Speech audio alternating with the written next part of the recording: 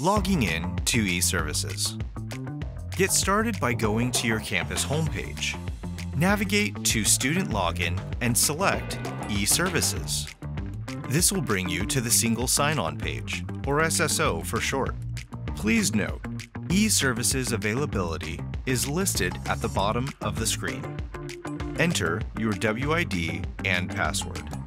Then, verify your identity using two-factor authentication. From your eServices homepage, you can enroll in classes, pay tuition, check on the status of your financial aid, and more.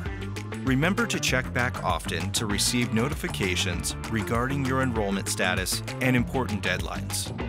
Thank you for being a Los Rios Community College student.